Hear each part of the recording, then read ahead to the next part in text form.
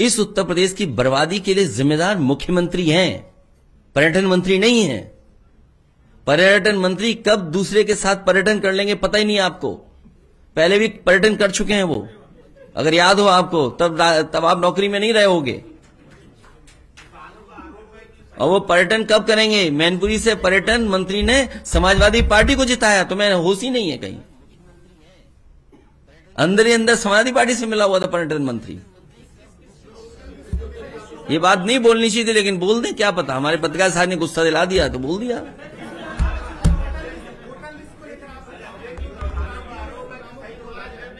हैं?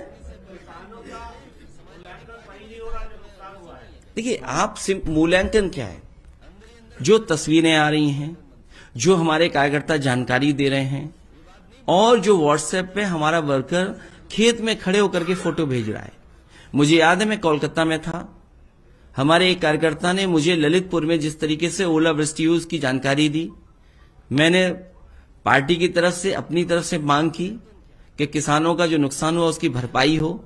उसके बाद तो लगातार उत्तर प्रदेश में झांसी से, इटावा से, लखनऊ से, हर जगह से वर्कर ने तस्वीरें भेजी हैं।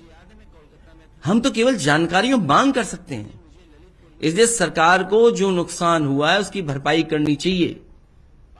जो इधर फ़सल का नुकसान हुआ, उसकी भरपाई करनी चाहिए। और सरकार बताए कि आलू कितना खरीदा है। मैं खुद कन्नौज की सबसे बड़ी मंडी पे गया था। और मैंने खड़ा होकर के पूछा वहाँ पर, जो आड़तिया खड़े थे, जो किसान मौजूद थे, कि आपने बताइए सरकार ने आलू कितना खरीदा। सबने हाथ खड़े कर दिए कि आलू कुछ भी खरीदा नहीं गया, एक हज़ार से ज़्यादा पैकेट हमारे यहाँ रखे हुए हैं। और किसानों का खेत में था उस समय आलू।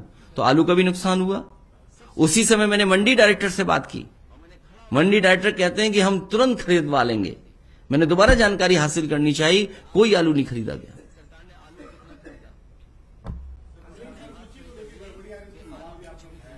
छोड़िए भाई, जो इलेक्शन कमीशन में आप जाइए, हमने तो शिकायत की है, उनको जवाब भी दिया है।